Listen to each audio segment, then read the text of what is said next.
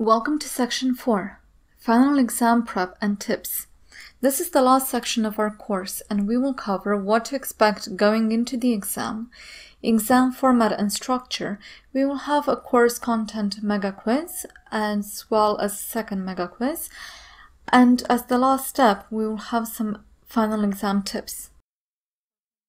What to expect going into the exam. In this video, we will review the process of actually signing up for the exam and going and taking the exam.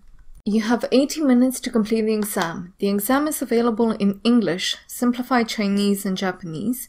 It costs $150 and you have to register online at webassessor.com slash AWS and then choose a testing center.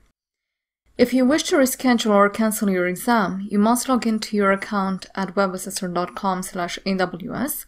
Once you're logged in, you should click the reschedule slash cancel button next to the exam. Canceling or rescheduling within 72 hours of your exam time will result in a $75 fee. When taking an exam at a testing center, you should arrive up to 15 minutes early.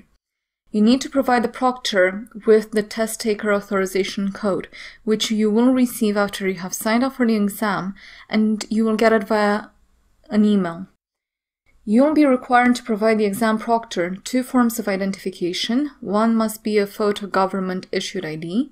Secondary identification would be a credit card, bank debit card, employee identification card, and you should know that the United States a social security card is not an acceptable form of identification.